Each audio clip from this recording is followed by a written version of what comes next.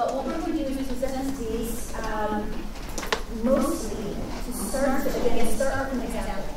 Just like we did yesterday, we started with the global MPI, and then James came in and looked at the methodology.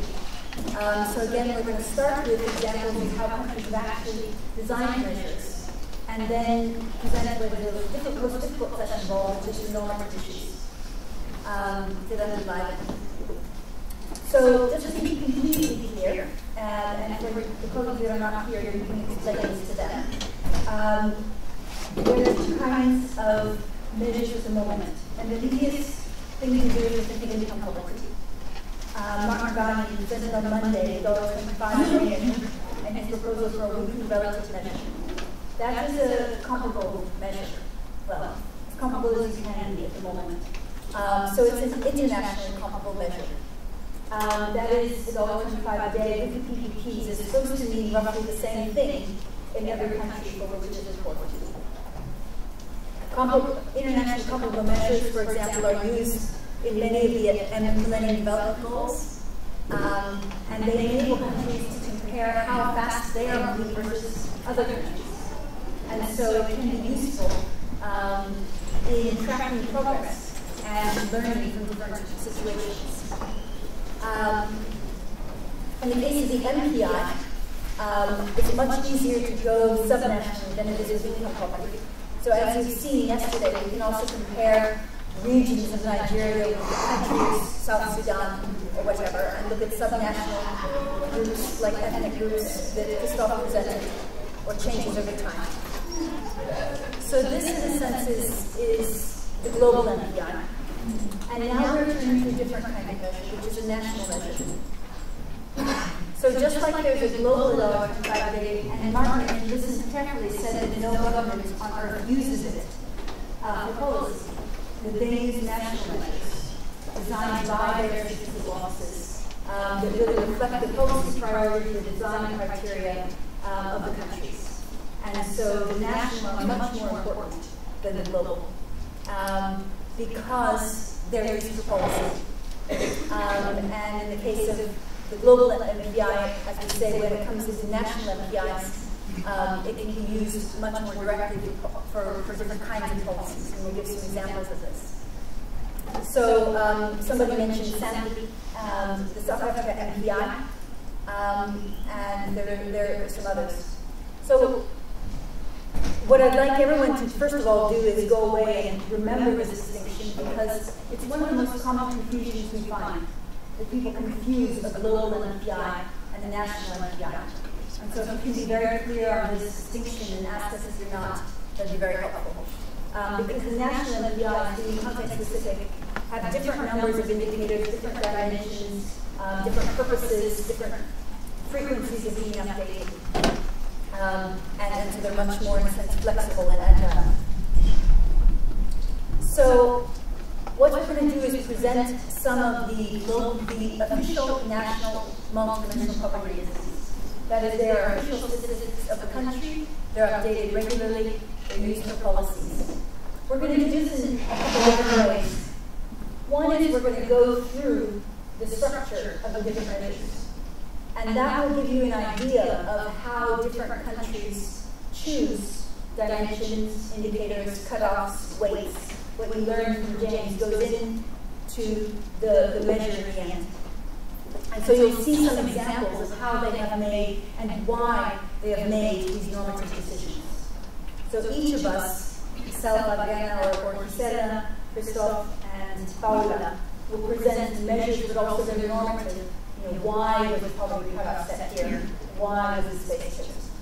So that'll give you ideas as you're designing your own measures for whatever purposes um, of things you might want to do or absolutely not do, depending on the case. Then the other thing we're going to do today is already start to show you how some of the measures are used for policy.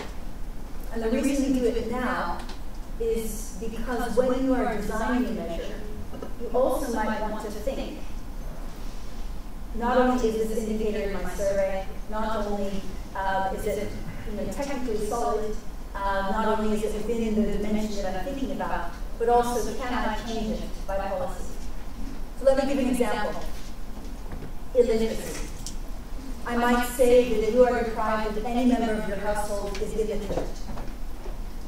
Now, if you look at the profile of illiterate people across age, you might find that most illiterate people are 70 and above, 60 and above. They're, they might be elders of the community. If they are elders of the community and they are illiterate, that indicator will never go down by policy. It will go down by demographic change. So what that means is that if you want a measure that's responsive to policy, you need either illiteracy of the workforce, or if there's a lifelong learning program, an adult literacy program, you'd want to make sure to get that information so that you can track how it goes down by, by policy. So we're going to go through in each case a little bit of how um, the measures are used in policy. Some of them, like Chile, are too new yet um, to, to have much in that way. Um, but that will mean that when you're starting to think about either your, your exercising groups or your own work outside groups, you can already start to think about what policy uses you might want your measure to influence. And if so, how it could do its job best. You know, how is it going to be policy responsive? So I'm going to start with the example of Colombia, and uh, in a sense, and go through all of those in most detail for Colombia, followed by Mexico, because those are um, the two measures that have been embedded in many different aspects of the policy framework, and then um, go to Bhutan and Chile. So these are slides which are used with permission from the government of Colombia, um, two parts of the government, the Departamento Nacional de Planificación, the planning department, and from the social prosperity department. So the, the MPI um, has, in a, according to this, this government as it's presenting it, different um, aspects that seem to be key. One is that it, in a sense, is a fit with the objectives of national policy. And Colombia's measure was designed um, as Colombia's national development plan was designed. So its national development plan was launched in 2010. Its MPI was launched in 2011. And so the indicators, as we'll go through, all reflect goals in the national development plan. The second purpose is to coordinate public policy across sectors. We already talked about how sectors sometimes don't want to talk to each other. Um, they don't want to coordinate, and it can be difficult. But this is a goal for Colombia because it's more cost effective if the sectors collaborate and coordinate with each other. The third goal that they had was the monitoring of policy. Colombia, um, uh, the, the president was elected and came into office with a big desire to make an imprint on poverty. And so actually set a goal when the MPI was launched to reduce the MPI within a four-year time span. And he said how many people and what percentage of poverty there should be at the end of it. And in order to realize that, that aim, they needed the measure to be monitored. And I should say that Colombia's measure is updated every year, annually, using the uh, survey of quality of life or conditions of life. And then last, they wanted it to inform decision making. And I will just um, give a brief example of geographic targeting, but I can talk about the others. So let's go through each of these. First, the fit to the objectives of social policy. I already mentioned that um, the national plan, in the case of Colombia, is the, the key document um, for the MPI. Um, and their starting point was to improve the instruments and methodologies of poverty measurement. So um, one of the motivations in the case of Colombia for looking at the multidimensional poverty measure was not multidimensional poverty, it was income poverty. And they had a problem. And the problem was that the statistics office had changed the survey. And so they could not complete their series of income poverty. They had a gap and they didn't know what their income poverty was for a period of time. And this created quite a bit of consternation and pressure on the government. Um, and so that, in a sense, created an opening. And uh, it's interesting I mentioned that because Chile, a few years later, had a similar situation. And also found multidimensional poverty measure was a good thing to do alongside income, partly just for safety, um, to have to have two measures at a time when when their income poverty measure was um, being questioned quite a bit. Um, and then the other was to, they wanted to have a strategy that included both the economic and the social uh, sectors, and so using income and multidimensional measures. So their measure has five dimensions. Global MPI had three dimensions, this has five. Education, we've seen in the global MPI. Health, we've seen in the global MPI. Some of this is sort of like living standards. But they add work or employment or labor, and they add a dimension of childhood and youth conditions. So those are the five dimensions. As I said, these dimensions are conceptual. They don't go in the matrix. The matrix are indicators. But these were also sort of chapters of the National Development Plan, as it were. They were organizing concepts of the development plan. So each of these five dimensions is equally weighted, and it is represented by a series of indicators. And there are actually 15 indicators. And within each dimension, each indicator is equally weighted. So this is 20% and there are five indicators, each one is 4%, 20% and two, so each one is 10%, and so on.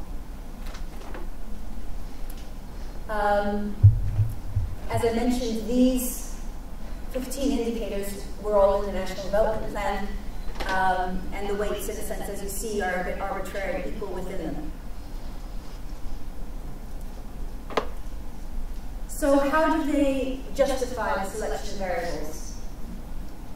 Um, in addition to the, the fact that each indicator had to reflect goals in the National Development Plan, there were three criteria for selecting the variables.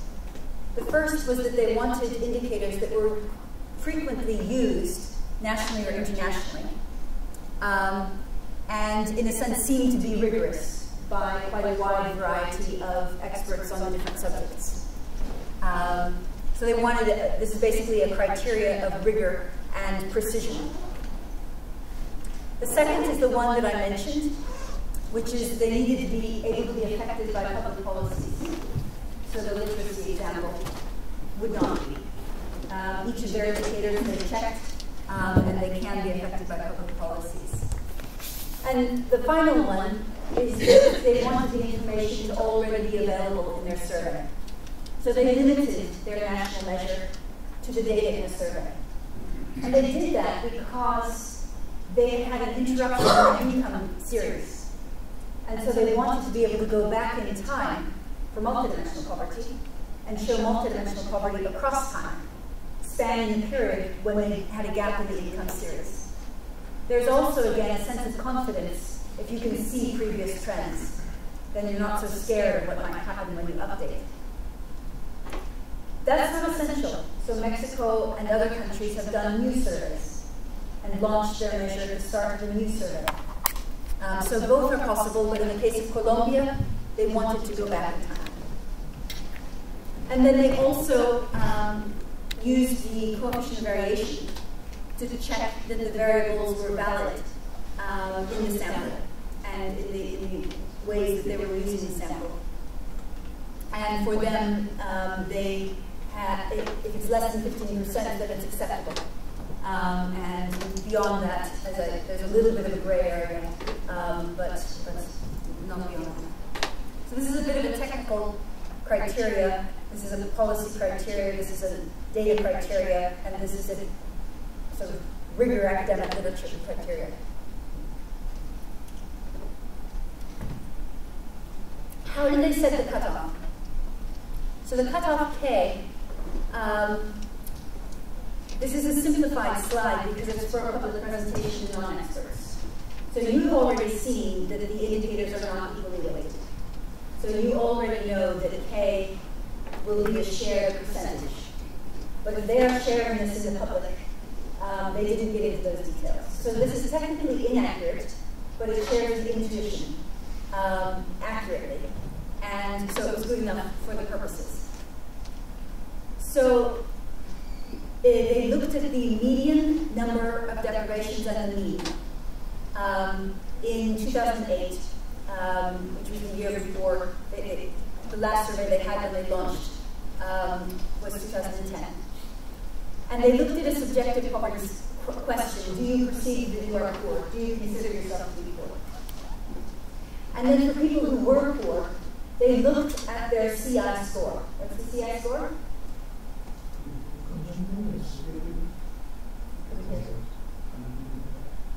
Not yesterday, James. Yeah? Count? The way you count. So my deprivation score. So the global MPI, do you remember the woman in Cuba? Her deprivation score was 67%. Okay? But they're framing it in a simple way as the number of indicators. So instead of saying 33%, they're saying 5 out of 15 for a public audience. So people who said that they consider themselves for, to be poor, if they just looked at those people in their sample and looked at the CI vector, the way to count deprivations they experienced, it was on average 33%, 5 out of 15. And then they looked at income poor people, and it was 5.1. And then they looked at both people who were income poor and perceived themselves to be poor, and it was 5.4, 5.6. And then they took the rest, so the people who did not perceive themselves to be poor. And they said, how many deprivations do they have? So this is getting back to the censored and uncensored headcount ratios. People who did not consider themselves to be poor, on average, still experienced 3 out of 15, 20% of deprivations. And similarly, people who were not income poor experienced 20% of deprivations. So they set the poverty cutoff basically at 5, at 33%. And that's how they justified it. So it was a combination of subjective and income poverty fits. Um, and then they also had a normative justification in terms of their indicators.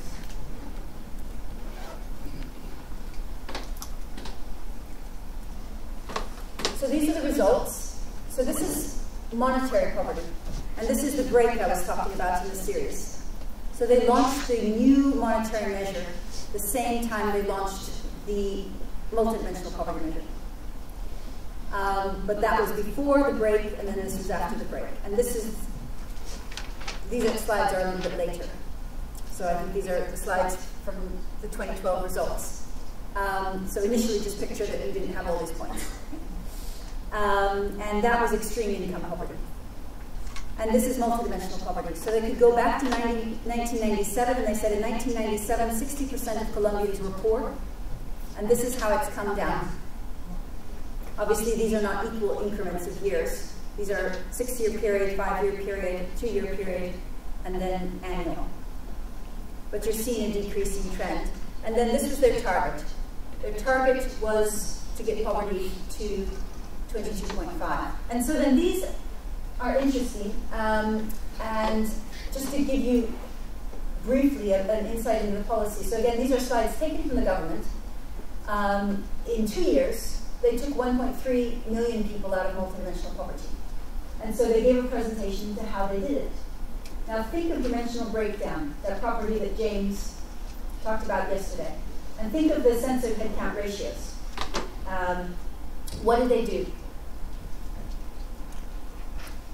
Oops, I'm going to slip over these and come back. So in 2010, they looked at the indicators that had the highest censored head count ratio. And those were the four indicators with the highest censored head count ratio. And then they did policies that addressed them. And that happened every year. So then there was a housing and a lower, a slowdown in poverty reduction overall happened in 2011. So they had a, a, a housing solution.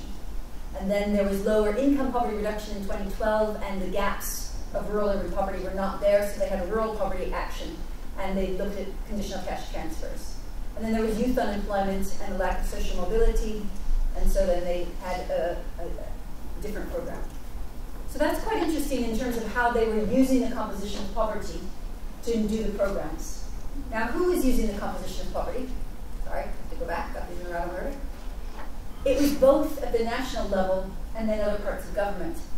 But um, that's the president of Colombia, um, and he set up a um, roundtable where he was present and the ministers were present and they could not send delegates, they had to be present in person. And it was the ministers themselves that then looked at a stoplight depiction, again this is very simple, a stoplight depiction of the 15 indicators in the five dimensions of Colombia's MPI. And they saw, okay, this one's going okay, but look here, unemployment and formal employment, they're not changing. What do we need to do? You know, this is 2011, this is 2012, oops, you know, not much change. Or an increase in, in this case. And it was statistically significant. Oops, oops, bad, bad. Okay, what do we do? Um, so that's just a very simple example of how it's being used. And of course, that also is cascaded to different levels of government.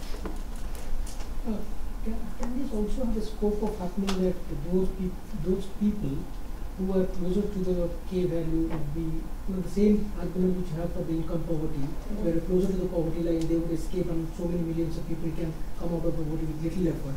The same way, the people who are deprived in less dimensions, if we focus on them, we can make more people to come out of Yeah, so I'm mentioned Colombia, we'll go to Mexico. And in the case of Mexico, you'll see the number, the intensity being reported. Because that's how you check that, you look at changes in intensity. The only thing I'll mention in closing is that um, Colombia also used it, for example, to change their geographic targeting. This was the initial distribution. and 11 of the 15 indicators in the national MPI are present in the census. And so they were able, using census data, to make MPIs at the municipal level.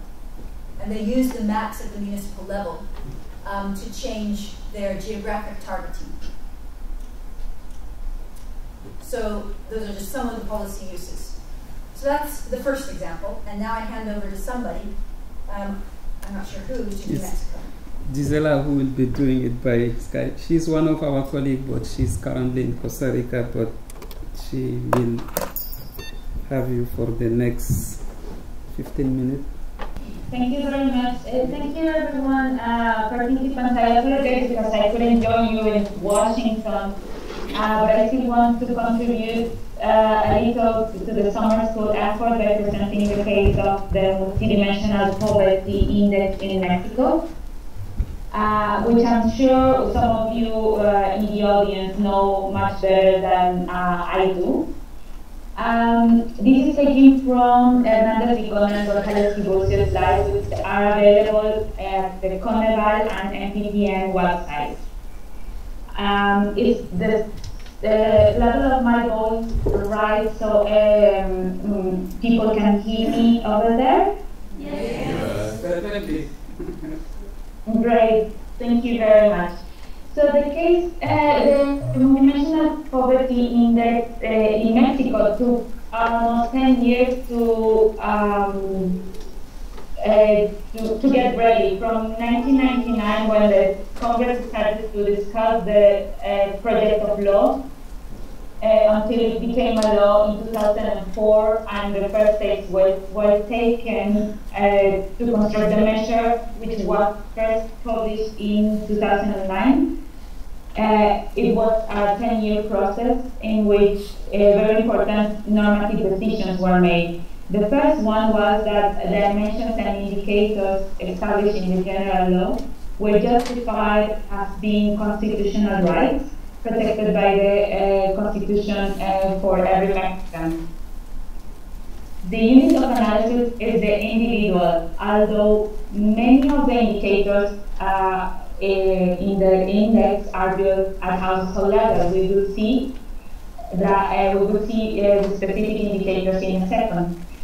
And because the general law included uh, indicators that were not for which information was not gathered before in Mexico.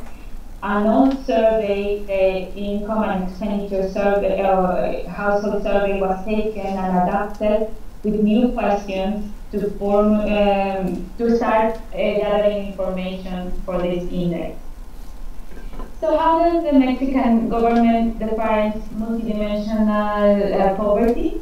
Well, this is uh, a person is multidimensionally poor if he or she experiences in uh, social deprivation, one or more social deprivation, and if he and she doesn't have the e- income enough to buy a food basket and non-food basket. So in this diagram, you can see in the horizontal axis the social deprivations or social uh, rights that people are um, are not having, and which include uh, education, health, social security, uh, quality of living, access to basic services, and access to food. And on the vertical axis, you can see the income poverty line, uh, which is, uh, and, and this diagram forms a quadrangle. The rectangle, the orange rectangle on the left, uh, left uh, hand side indicates people living in multidimensional uh, poverty because they are under the poverty, income poverty line and they experience one or more social deprivations. In the meantime, people above the poverty line, income poverty line, but experiencing more, more than one social deprivation are in this rectangle. And people experiencing no social deprivations are in the white uh, uh, rectangle on the right hand side. More importantly, the uh, the Coneval has also defined an extreme poverty group, which, which suffers uh, even more acute income poverty. They are below an extreme poverty, income poverty line, and they suffer uh, three or more social carences, uh, social deprivations at the same time. And other groups of the population include uh, people vulnerable to, uh, uh, due to social deprivation, such as the ones uh, located in the top white rectangle, and people vulnerable due to income be, because they are below the income poverty line in this white uh, right uh, rectangle. And people living in nirvana, which is the uh, green rectangle at the top right corner. As, uh, as I mentioned, uh, the multidimensional poverty in Mexico includes uh, the income poverty line, which is defined based on a food basket with a minimum caloric intake and, and a non-food basket that includes other necessary goods and services such as health, education, transportation. And this uh, economic well-being dimension has an effective weight of 50% of the uh, total deprivations in the index. In addition to this economic well-being dimension, there are six social uh, um, social rights that should be also considered as indicators in the index which include educational gap. A person is deprived in educational gap if he or she is aged between 3 and 15 years old and is not attending school, or if he is aged 16 years or older and is, uh, has not attained the level of education that was enforced when he or she was born. People can also be deprived of access to health services if they are not uh, entitled to any of the uh, health insurance or health services available in the country, such as uh, Seguro Popular or other um, health institutions. People can also be deprived in access to social security if social security is not provided by either direct access or due to their family and uh, employment conditions.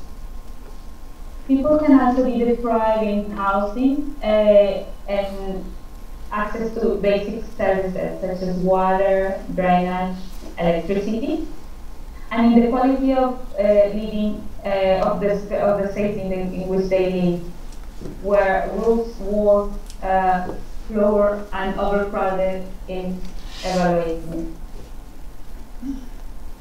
addition to this, uh, the sixth indicator is access to food, in which uh, each member of the household should answer uh, the question if he or she has been in uh, suffering hum hunger due to lack of income or, or lack of resources. Actually, the Mexican law also includes the dimension of social cohesion, but um, the policymakers found it very difficult to formulate an indicator that was representative at individual level. Remember, individual is the unit of analysis in this index uh, that represented the social cohesion. They just uh, were able to formulate social co cohesion at community level, and this the dimension is reported along with the results of the Mexican Poverty Index, but they are not uh, subscribed at in individual level. So as a result, we see that 9.5 uh, the 9.5 percentage of people in Mexico are under extreme poverty. 3.6% of people are under multidimensional uh, poverty, and altogether they add up to 46.2% of multidimensional uh, poor people in Mexico suffering an average deprivation of 2.3 um, social deprivations. This is in 2000. Uh, the Mexican government also uh, was able to um, analyze the trends over time for this multidimensional poverty. And unfortunately, the trend indicates that multidimensional poverty has increased. This is the headcount uh, ratio for multidimensional poverty from 46.1% in 2010 till 46.2% in 2014. All this increase can be explained due to the uh, increase in uh, people below the income poverty line. This passed from 52% in 2010 till 53.2% in 2014. Interestingly, the, the proportion of people um, that are, are, suffering one or more social deprivation actually decreased over this time. But due to the fact that the Mexican index includes the income dimension with a weight of 50%, the total index is increasing, um, it has a, an increasing trend over the last five years. The index allowed the Mexican government to uh, formulate intersectoral policies policies that cover several angles of the life of the uh, more um, uh, the, the, the most, mostly deprived uh, people in Mexico, such as the strategy, um, the, the National Crusade Against Hunger. This includes uh, providing access to food to people in extreme poverty, and uh, it's also um, it's also considering to address uh, problems of obviously access to healthcare, educational gap, and also access to basic income. So the target population of this national crusade is the blue rectangle at the bottom left corner of this diagram, which includes 7 million people in extreme poverty, in extreme multidimensional poverty, that also suffer lack of access to uh, food. And the index also allows the government to evaluate the progress uh, and targeting this, uh, specifically this indicator of access to food. We can see that uh, there has been some progress in the first and second decile, between 2012 and 2014 when they have seen the, reduction of this uh, of, of, the, of the provision in access to food for these uh, first two uh, source of income. But unfortunately, the impact in the rest of the, in, uh, source of income is questionable. Uh, on this is all what I would like to present this time for, for the uh, Mexican experience. I, am sure we will come back, uh, or you will come back to it um, for the rest of the summer school. And do not hesitate to approach me or any of, of our colleagues, even your uh, colleagues that are participants as well in the summer school, which are very familiar with this experience. And thank you very much for listening. So, okay, um, so I will briefly present Bhutan's multidimensional poverty index. Actually, more or less all of the results and things I'm going to present can be found in Bhutan's multidimensional poverty index report, which was written by um, Bhutan's National Statistics Bureau. So the report is online. If you're interested in that, you can get it and read it in more detail. So um, just to give you some context, um, Bhutan conceptualizes um, development in a very holistic way and explicitly includes non-economic aspects of well-being into it. So um, overall, um, the Gross National happiness index has, for example, nine domains and 33 indicators, and these domains are like psychological well-being, health, education, and time use. But Bhutan also has official poverty estimates, um, income estimates, but there's also wide recognition that poverty is like well-being multidimensional, and therefore they also wanted a multidimensional poverty index. Um, so the purpose of this measure, um, the MPI has been designed as a tool to provide a better way of designing programs that help deliberately to target the poor and to help and monitor these programs. So it's hence considered also a yardstick to measure the progress in terms of poverty eradication and the key objective of the MPI is, um, and the report is to produce a multidimensional index in addition to the standard income approach and to provide additional information. So it's not meant to replace income again, but to provide additional information. It's a complement. And it's also, the MPI is also built to help compare districts in, in terms of poverty and to help government and other stakeholders to focus their policies according to the specific needs of the districts. Um, the unit of the analysis is the household, and the main reason is that the policies are also at the household level, so they want to measure the targets that kind of can measure that.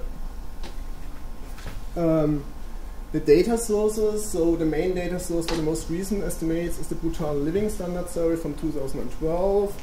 The survey followed the methodology of the World Bank's Living Standard Survey, but there are also past MPI calculations based on BMIS, which is a customized version of UNICEF's multiple indicator cluster survey, and the BLS is 2007. Um, all the data sets are designed to be representative at the district level and by rural and urban areas, so you can decompose at the district level. So coming to the indicators and the dimensions, um, first of all, the dimensions are the same as in the global MPI, so you have health, education, and living standard. Um, the choice of the indicators was affected by the BLSS datasets. Um, overall, there are 13 indicators this time. Eight indicators are the same as in the global MPI, but we also have three additional indicators. This one, access to roads, then land ownership and livestock ownership. Um, all belong to the living standard category. Um, food security is, for example, used as a nutrition indicator because um, there was no other information on nutrition. And for example, the uh, where's the housing? Housing additionally considers um, the condition of the wall and the roof, not only the floor. Um, the weighting structure is nested. First of all, each dimension has the same weight, one third. And the two indicators in the first two dimensions again have the same weight, so one sixth. For the living standard dimension, this is kind of is a bit different. So the first six indicators um, have one seventh of the weight, and the remaining one seventh of the dimension is assigned equally to the last three indicators, so asset, livestock, and where's the? Yeah, those three have a different weight. So coming to the poverty cutoffs, um, so in order to identify the poor, Bhutan has then decided that people are deprived in at least 30.7% of the weighted indicators are considered as poor. But they also use a second cutoff um, of more than 50% to identify people who are intensely poor. The table again shows um, the results for the first cutoff, so for the 30.7% of the rated indicators. So the results for 2012 are we have a head count of 12.7%, so 12.7% of the people identified as multidimensionally poor. Um, the intensity is A is 40.1%, so the poor are on average deprived in 40% of the rated indicators, and the MPI is then 0.051. So um, let us now take a look at the censored headcount ratios and the contributions to the MPI poverty by the indicators. So first of all, for example, in, when we see cooking fuel, 10.1% of the people are multidimensionally poor and deprived in cooking fuel. We also see, for example, at schooling, um, that 9.2% of the people live in households where, where people are deprived in schooling and multidimensionally poor. And we also see that schooling overall plays a very important role. In the MPI has a high contribution, and overall the education dimension contributes like 43.1% to overall poverty, even though the rate is only one third. So that's really important. Um, overlap between income and multidimensional poverty. Um, first of all, we see that um, both identify a similar share of people as poor, once 12.7%, the other time 12%. However, we also see that only 3.2% of the people are actually identified as poor using both approaches. When we look, for example, at the 9.5%, these are the people who are multidimensionally poor but wouldn't have been identified using the income approach. So there's again additional information, so added value using the MP MPI. Um, this slide, I guess you've already seen it. Sabina presented it already in the first day. Um, this is a decomposition by regions and shows the income and the multidimensional poverty. And what you see is there's a big variation between income poverty and multidimensional poverty. The most extreme case is Gasa, where multidimensional poverty is highest, but income poverty more or less lowest. But there's also like big variation in other regions as well. Um, so coming lastly to the development of poverty. Um, so what you see, we have two graphs here that show the national MPI and the headcount ratio for different years for all possible cutoffs. So it uses the year 2007 and 2010. Both uh, the comparison are based on the BLSS surveys. So in order to make the comparison actually possible, um, it was necessary to strictly standardize the MPI estimate, which meant in that case that child mortality was not used for these specific calculations because it didn't the question didn't come up in 2007, so the indicator, the VSAC, this is actually slightly different to the national MPI because we didn't have the data in both years, or they didn't have the data in both years. But anyway, what you can see for both is that independent of the cutoff, poverty is much lower in 2012 than in 2007. And even so, we don't show, they don't show confidence intervals here. The significant, uh, the reduction is also significant statistically. statistically. The policy use, um, so the government considers the national MPI as one indicator that helps with the allocation of resources to local governments in order to reduce poverty efficiently, and hence it uses the MPI to achieve its goals of the eradication of poverty or reduction of poverty to below 10% by 2018. And yeah, they seem to be on their way actually. So I guess we're now going on to Chile. Uh, so to keep going with these national presentations, let me present you a few slides on Chile. Um, for those who know, Chile is a, country in South America. It's one of the most developed countries in South America. And apart from Mexico and Colombia, if I'm not wrong, this is the third country in South America that implements a national poverty measure following the Alkire-Foster method.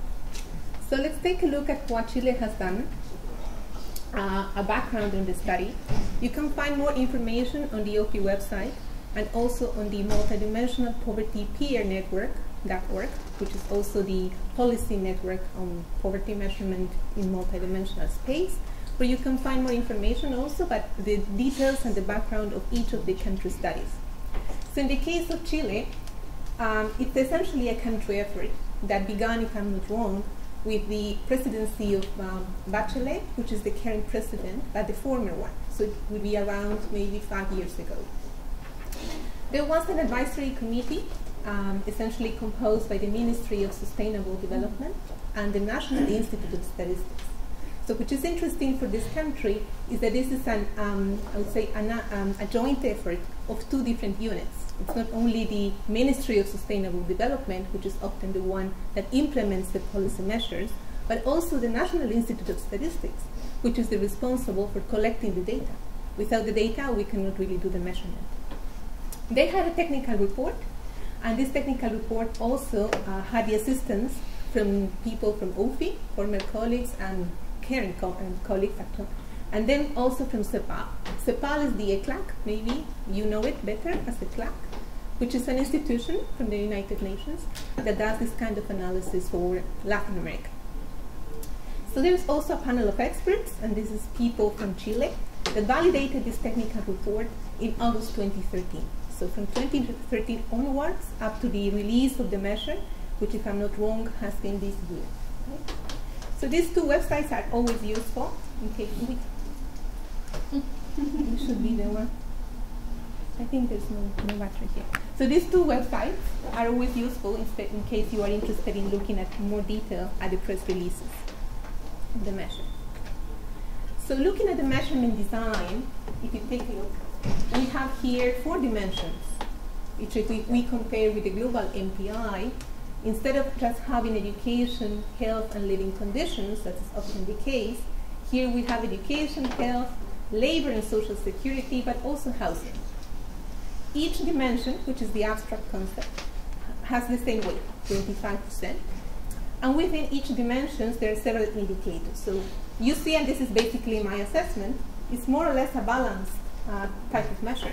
For each dimension, we have three, more or less four indicators.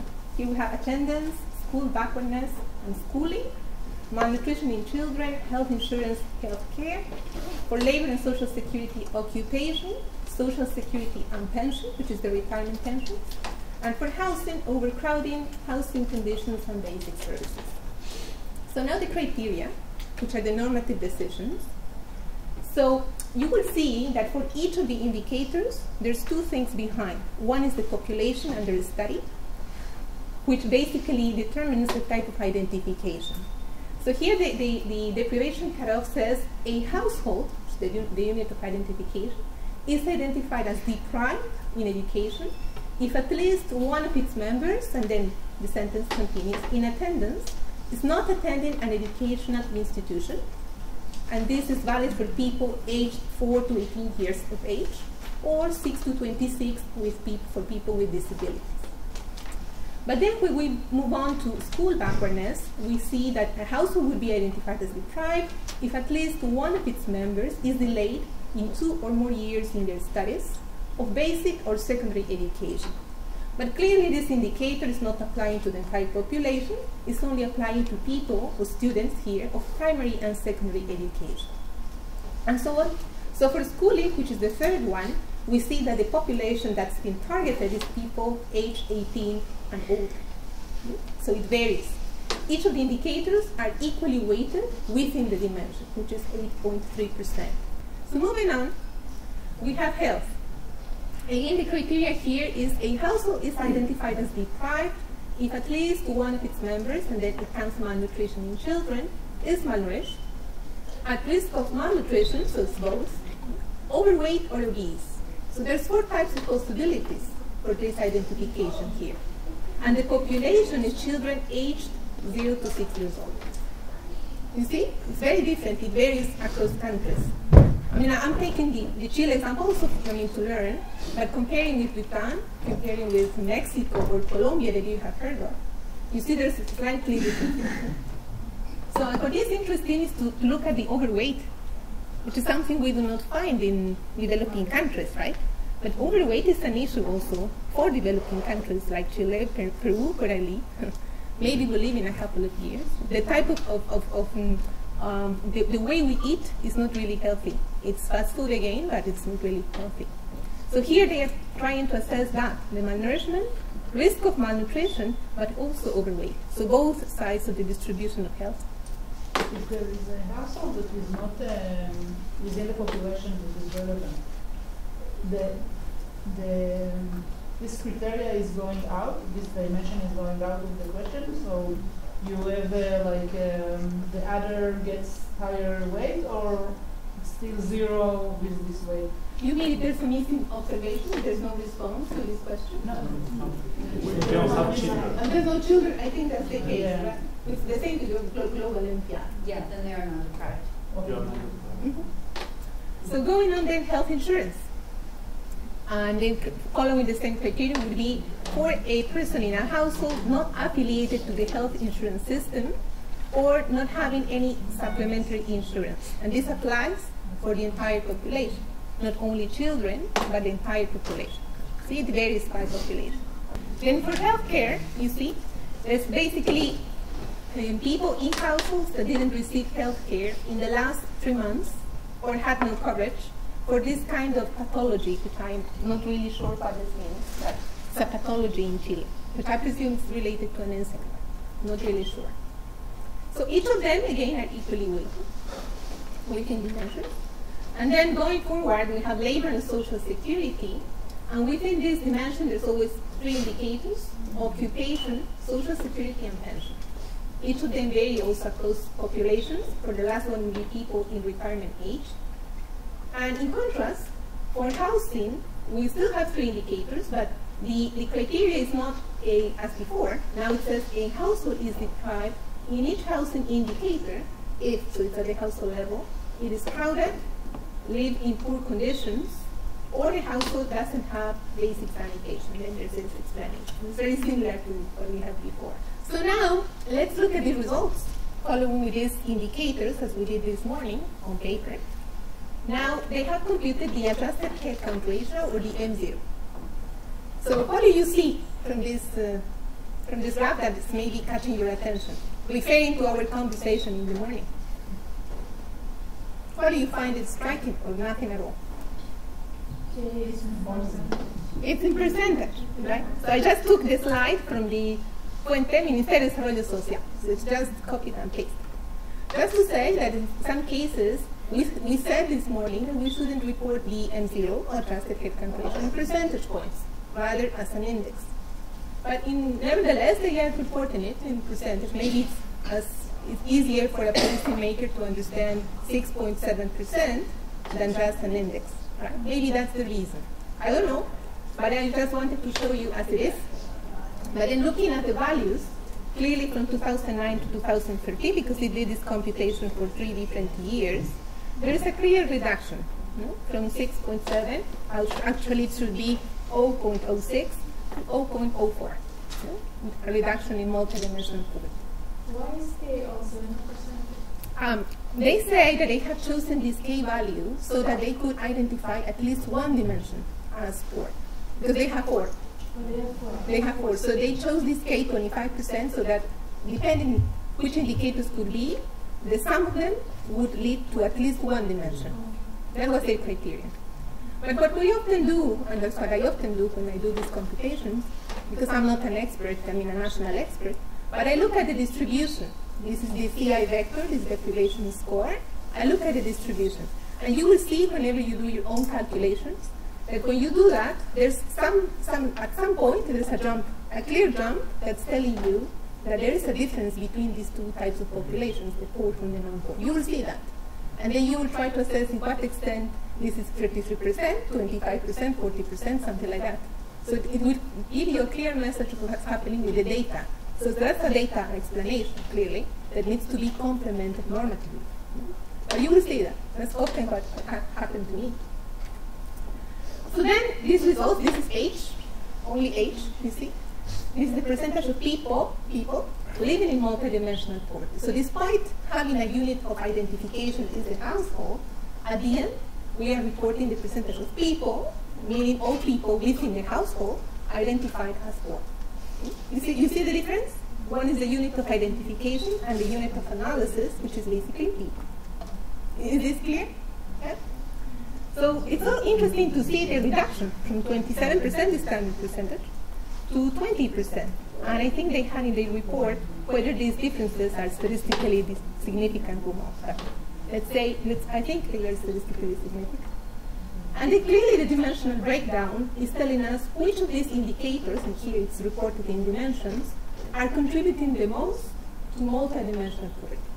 So what do you see from this graph? Does it, is it I mean, telling us something? Do you see a, which is the dimension that contributes the most? It looks like labor, right? Labor and social security. So in 29 it was 32.4%, and in 2013, well, it's still 32.5%. So despite a reduction in the number of, of poor people multidimensionally, a reduction in the index itself, well, the composition of poverty has not changed in these three years. Perhaps it's the time, right? Maybe it's also because variables are stock variables that do not change much. It may be. There's plenty of explanations for that. And then, well, an interesting comparison always is with monetary poverty. So the variable I think here is income, but I've written it as monetary poverty. So you see that um, in blue we have households living in monetary poverty. So it was 13, 14% to 8%, a reduction of more or less 6% between these three years. And then in red we have the overlap, the percentage of people, households here, households, living in monetary and multidimensional poverty. So we have 8.9, 7.2, and 4.4. You see the overlap? Which is always interesting to see what's happening with consumption or income and the other dimensions, whether they are redundant in that sense. And then by income quintile, this is interesting because we can see the evolution between the, these three different years, right? Where, in which quintile do you see there has been the greatest reduction? I mean, the fastest speed in reduction? In the first one, no? It goes from 39 to 30 percent. And the last one goes from 7% to 3%, which is 4% reduction. Here is 9% reduction. Right?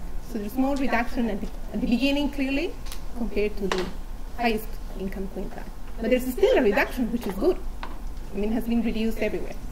But it's also striking to see that there is, there is people, households, multidimensionally poor in the highest income quintiles. We should expect maybe, if income is everything, maybe not to find any households there. And we should recall that income is not part of the measure here. It's not an indicator in the measure. So it's not really, I mean, it's giving you a clear picture of what's happening. It's not a fuzzy thing that overlaps. Okay? And then, well, finally, we have this press release, which is essentially comparing these overlaps here with a nice story of how this new measure has been uh, released for Chile. So I think that's all I had for you. And finally, yes, well, we have the composition by regions. But clearly we know that region here is La, this one, which is region 9, has the highest values of multidimensional poverty. In Chile, for those who know the country, there's more or less around the capital, and then some other states are very well. And then there's a high spread between north and south. Clearly, you will find a difference of households and poverty across the country, north and south. So then, I think this is the final part, which uh, I think I will present.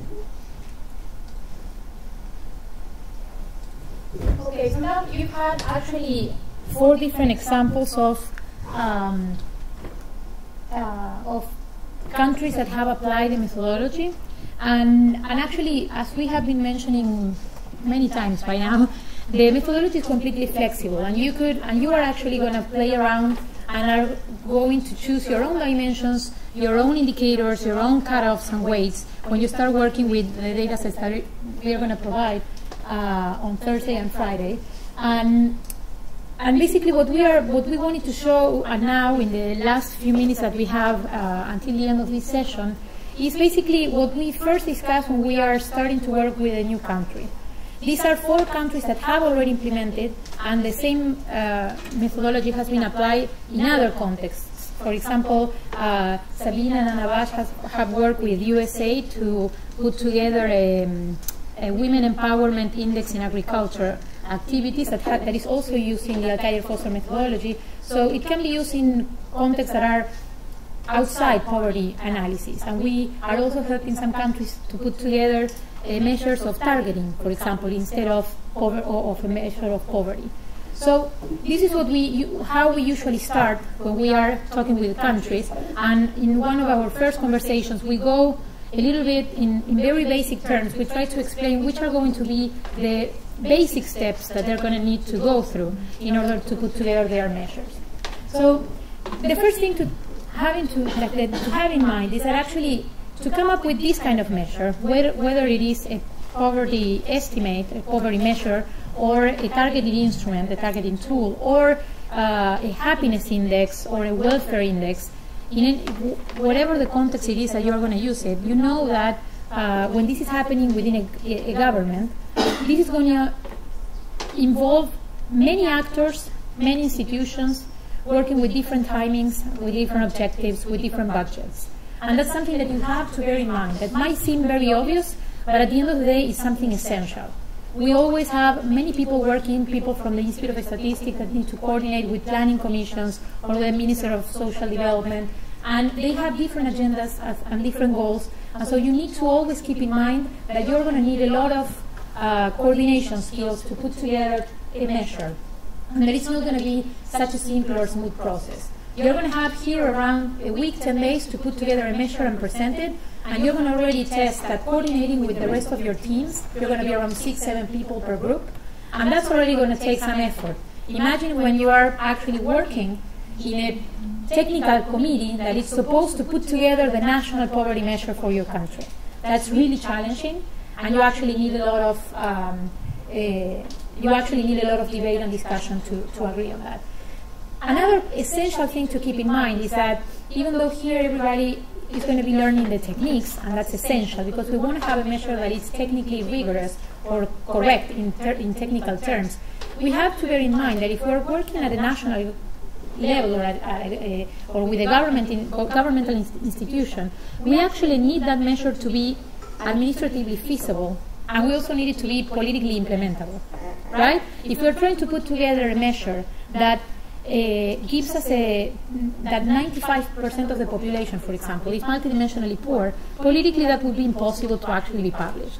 So we always have to keep these three things in mind. It has to be technically correct, but at the same time we need it to be feasible in political and administrative terms. Now, the way this usually works is that there is going to be a technical team that is going to need to present advances and results and estimates, trial measures, and so on to a political committee.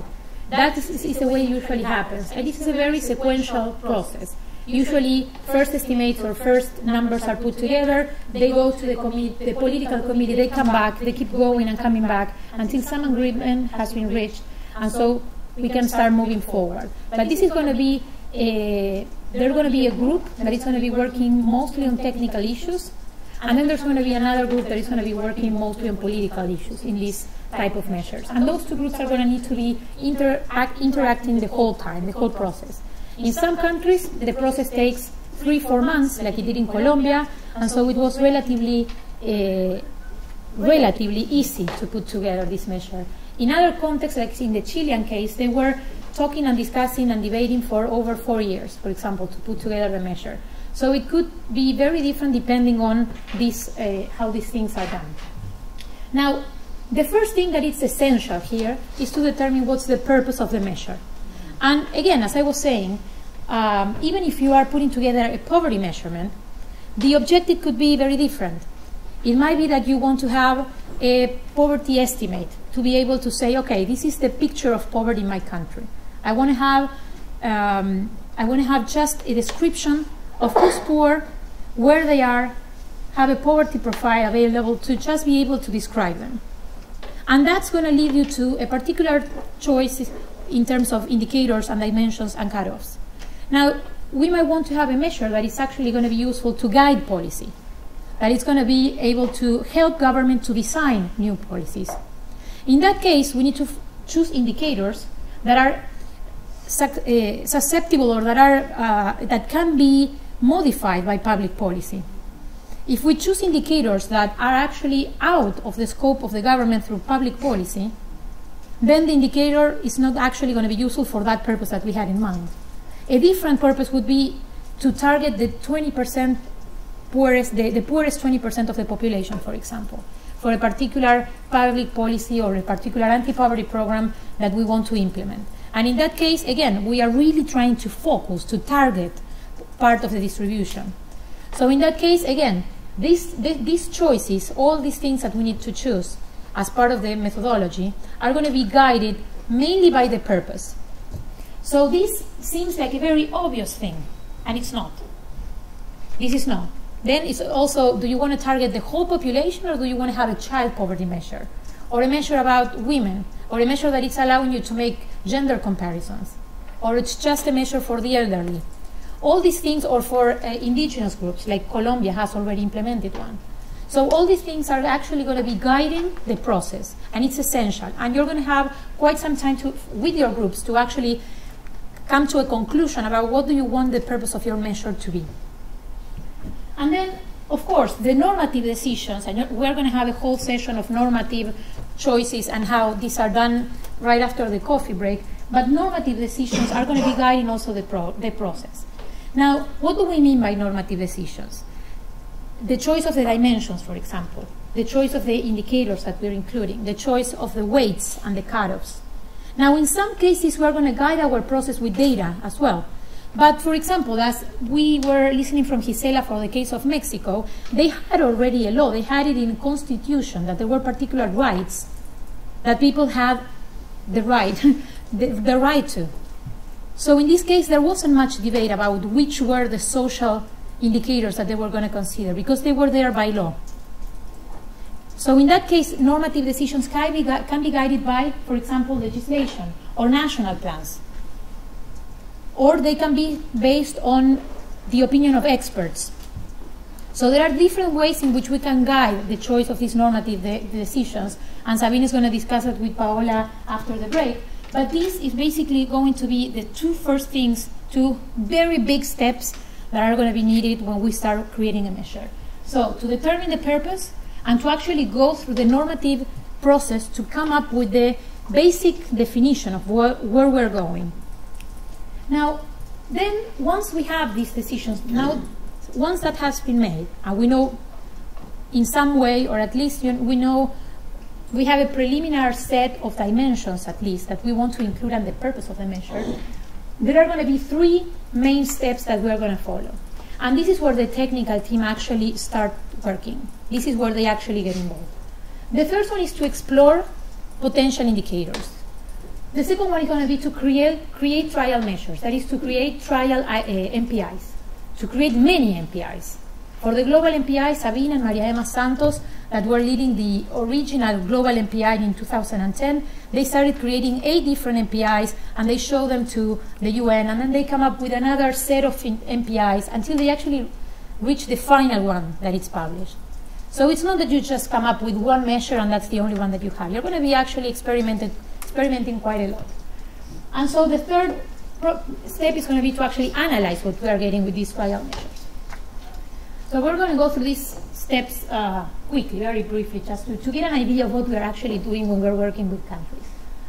The first thing is that we need to understand what are we putting into the measure, and then we need to understand that because the measure allows for decompositions by subgroups or decompositions by dimensions, we're going to be able to actually get a lot of information back from the measure that we have created.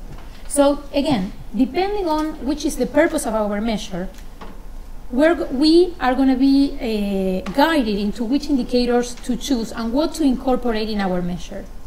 Now, in this step, what we are actually going to do is to look at what is usually included, what are normative guidelines that we can follow, for example, as James was mentioning yesterday, when we are talking about education, there are so many things that are part of education. There are already some consensus about what education entails. Uh, school attendance, quality of employment, uh, years, of, uh, years of schooling. There are so many things that we can look at when we talk about education. Some of these, things are already, there is already a consensus. So we can already start testing these already accepted or already debated and discussed indicators that are traditional in the literature. But we can also guide ourselves with the data that we have available for ourselves. So what we usually do is take the data set that we are going to be using for our measure and actually create what we call the universe of potential indicators. We actually don't restrict our imagination at this point. We take everything we can imagine that we can put together, that we can construct for education, for example, and we put it in a table. And we start creating indicators. We start creating already indicators uh, zero and one, being deprived and non-deprived. And we start already computing what is the proportion of people who is deprived, the uncensored headcounts for each of these potential indicators that we are considering. Initially, we would have a super large table that includes all the potential indicators that we can use, everything that's there. And we would also try to make combinations of things in different ways, because as I was saying, we don't close our minds at this point. Quite the opposite. We try to try everything. So, for example, we could consider whether a person can read and whether she or he are able to, to write as two different indicators, or we can create a combined indicator that is considering whether they can do both at the same time, or whether they can do one or the other. Now, this may seem very obvious, but at the end, it's something that we actually try to do. We really try to experiment with that to make sure that we are not to analyze, for example, if we all we need all these indicators, if we get the same results or not, if they are capturing the same time of, the, of deprivations or not. Another example would be when we are considering quality of the materials that are used for the household. We could have three indicators, wall, the material of walls, floors, and roof. Or we could have just one that combines whether the household has bad quality in either one of these, uh, in either the walls, uh, roof, or floor. So we can combine this information, and we, that's what we do at this, in this stage. Now, it's important to also have um, it's important to also have uh, here different deprivation cutoff. So, for example, when we are creating indicators of education, we use five years of education, six, seven. We try with different stuff. As I was mentioning, we try here everything that we can imagine, everything. This is not a moment to actually be, to try to save space in Excel. It's actually a moment to actually expand and put together everything that could be useful for our measure. We also try to uh, combine information in, in different ways to go, for example, from the individual to the household level. So we consider whether no member at all is going to school, if they are uh, school-age children, or whether at least one is going to school, whether a particular proportion of the school-age children are going to school or not, whether, for example, women are going to school or not. And so we make all of this. We make as many uh, indicators as we can create.